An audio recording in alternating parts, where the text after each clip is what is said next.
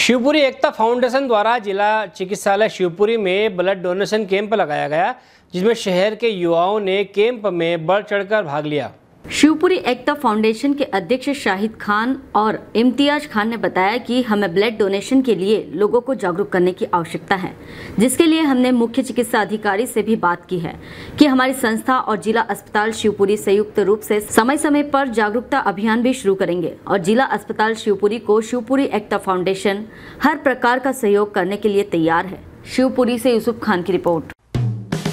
Hello friends आप देख रहे हैं हमारा channel S W twenty four news हमारे सारे वीडियो सबसे पहले देखने के लिए आप हमारे चैनल को सब्सक्राइब करें और पास में लगे बेल आइकोन को दबाना बिल्कुल भी ना भूलें।